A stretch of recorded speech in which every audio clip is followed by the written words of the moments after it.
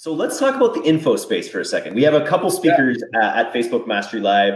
Uh, Jeremy Haynes as well is going to, and, I, and, and you know, I love this info space. It's, it's, you know, he had a really interesting perspective on it, just saying like, you, everyone underestimates what they have to teach, what they have to give. So like the info space is really just in its infancy, even though we do see a lot of ads, you know, especially when we're in the game. Right. But talk a little bit about the info space, where you see it going, why you love it so much.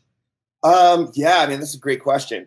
Um, so I love the info space for a few reasons. I think, um, you know, what, what Jeremy touched on is so true. I think, um, you know, you're going to get a ton of haters. Um, I actually go through some of the negative comments um, in the presentation that I have for iStack um, and just how to deal with them and stuff. You're going to get like an unrealistic amount of negative um, feedback. Um, and it's, it's brutal, right? Because it's the internet. Um, but on top of that, I think if that's also one of the things I love so much about it is it's such a difficult space to actually be profitable in. Um, and I think one of the reasons is you have that really long optimization window. So with, with in the info space, typically you're going to get that front end conversion, which is like a ebook giveaway, a webinar, whatever it is. And then you're going to have people that go from there to, uh, you know, they go through that program, whatever, and then they decide if the paid program is for them and make that decision there. So I think one of the things I really like, um, just on a workflow standpoint, is the optimization window uh, for you know when from the first touch to close is so long. It makes media buying extremely difficult um, because you don't that conversion doesn't happen for so much long. You know, with ecom, you're going to have that conversion happen what a minute after the click you know, yep. for a lot, a lot of the info products, it's going to be minimum a week, minimum. You know, so I think the the, the difficulty of buying ads, um, it requires uh, such a careful process, and you know, you have to really pay attention to data and how you know how numbers are moving. And so I love it for that.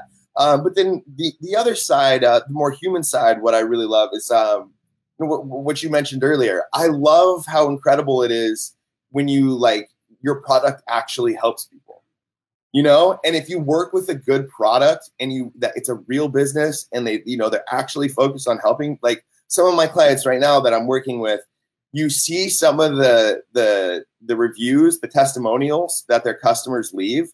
And like it, it sounds cheesy but like it really did change someone's life you know? It really did um, and so I think those two things just kind of made me. Uh, I didn't like plan to go get an info. Wasn't like I set out for it. Um, but once I found myself here, I think for those two reasons, I really liked it and uh, just kind of went all in on it. Uh, very very cool. So I want there was what else did I? Oh, I wanted to talk about the actual info process a little bit. Sure. So you, you talked about the conversion window, the seven day conversion window, and it's just something that that you know we're obviously living this as well.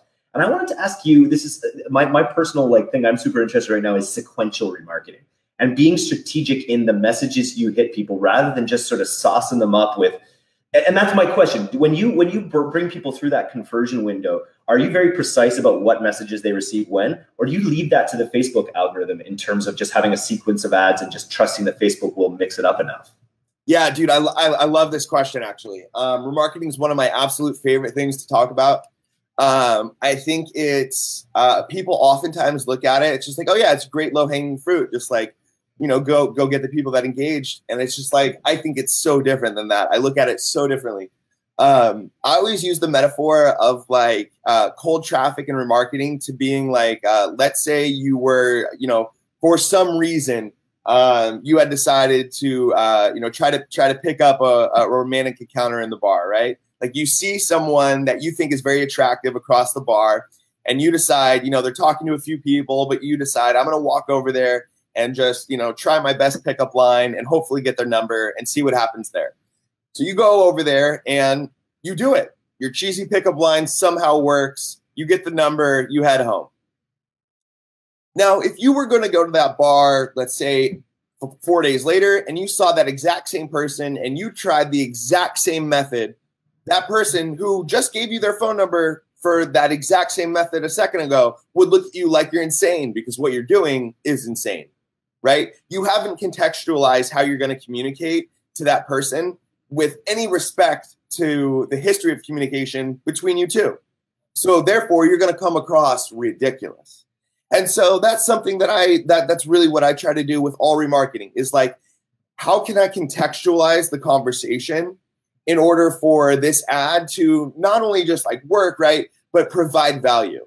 Like it, it, it contextualizes the conversation. It remembers where we picked off, and now we're moving forward and continuing the narrative by mm-hmm. adding this sequential piece, right? Um, but I think with Facebook's, uh, you know, vi- visibility and the technology where you can literally remarket based off engagement, clicks, time spent on page, whatever it is, um, yeah, there's really no excuse not to provide that really sequential, um, contextualized remarketing. And that's something that um, I, I, I really enjoy doing, actually. and that's something that works across it, everything, you know, right. every space, whether it's info, product reviews, uh, you know, affiliate stuff. You know, I, I just think I think that's the future for sure. It, and it goes back to Minority Report. You know, hi, you know, to, to literally like, hi, you like that V-neck sweater you bought, blah blah blah blah. Right. blah. you like More, that? and it's just value. It's just providing that other layer of value and contextualization that makes all the difference. So that's super cool to hear, and that's a big part of your process. Now, what do you just so so people are listening to this? A lot of the people in we're, we're live in the ad buyers group here. So a lot of these people love buying media, but maybe and a lot of them are probably building agencies or they're running e-com stores or things like that. But maybe they haven't thought about becoming, you know, dipping them, dipping their toes into the actual info space. What, like, from your experience in this space, like, what do you think is the best way to approach that? Do you really need to? Do you have? Do you, do you have to have something unique? Do you have to take a very specialized aspect of your skill? Do you want to focus on on more biz op, on just like, hey, hey, here's how you change your life? Like, what? How would you navigate that space? So I would say the info space is good for anybody who who has something to say. If you have something to say, you know, and you, you know it if you do. You know, you deep down, you know it if you do. If you have something to say, then I think the info space is worth it for you. Um, I know that Sam, he never wanted to be a speaker, never wanted to be anything like that. Um, you know, he, he, wanted to be an entrepreneur, and that and he had something to say, and that just kind of led him into where he was going. Um, so I think a lot of uh, people will know if the info space is right for them because of their burden to get whatever they have on their chest off. You know, I think if you really have something to say um, and you have a product that can help people, you have a vision. You know, the best info products that I've seen come from people who see the market and see a, a problem in it. Right? They see an area of lacking and their info product is not just them trying to push their celebrity on everyone, but is instead their method of addressing that issue. And I think when people look at it from that standpoint, um, they'll know if inf- the info space is that for them right away. You know, if you've got something to say and you've looked at the market and you think, wow, like, you know, my voice is necessary here in order to help right, uh, you know, a gap in the market, then I think that you should not wait and jump in immediately. It's very cool. And, it, and again, it can be so niche as well. It could be a Facebook marketing thing. It could be a photography class. It could be like, you know, there's all sorts of aspects of your personality that you have spent developing um, so professionally true. or personally. And there's, and there's just so many different areas and, and, and, and there's so many people that have done it. So it's like, I think when you can combine, you know, your level of insight with ads and sequential remarketing and manual bidding and all these sort of difficult, you know, challenging things. And then, but, but then beyond that, everyone info's been done for decades, right? When right. it comes to okay, you need a lead magnet to start. You need to you know yep. you need to nurture a relationship throughout the process. So it's like yep. there really is a roadmap for at least that first stage of success with info. Yeah, I you know I really look at it. Um, I, I I would say it's even more than a roadmap, right? You know, because you're right, it has been around for a long time. You know, some of the absolute best advertorials were things that were like, you know, they're written about Rolls Royces you know, which and they were they were just full on stories about you know you having this incredible drive in a Rolls Royce, right? So I think you know because of the diversity, like you were talking about, uh, you, know, there's there's so many ways for you to plug your info product into people's lives. I think um, there really is kind of a, a system that will let you know how to do it and how to do it right. Um, you know, for example, like when I when I approach, um, you know, we, we, got a new client uh, a couple weeks ago, and we just had their second session. And in their first session, I had put up something. I had noticed something in their account that indicated, you know, may, maybe we can skip a step. Maybe we can go ahead and, and skip this step and um, I created this this uh, campaign and said, uh, "Hey guys, watch this real closely in the next two days. If it doesn't do X X X X X, go ahead and cut it." So uh, fast forward to the last meetup, and I'm like, "Hey guys, can you pull up that campaign? I want to see it." And sure enough, everything else had done what it was supposed to, and this failed miserably.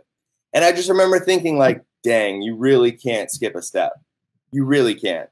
And you're right. There, it's the the, the methods have been proven um, the model has been out there a long time, and there is a right or wrong move for sure. Um, now, it's not to say the same, like everyone's path is the same, but I think there is a structure and a format that people can follow to greatly increase their chances of success for sure.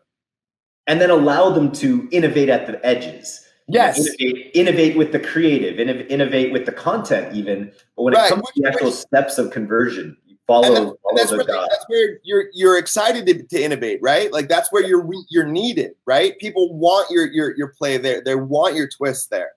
Cool. Okay, so we have we just have a like you know if, if anyone listening live has any questions, feel free to add them in here. There's a question about an ecom client, which I know is I, you know I don't know how much ecom you've actually run, but they're asking about using single images or carousels. Yeah, I, I, I can definitely talk ecom. Um, I'm not. I, I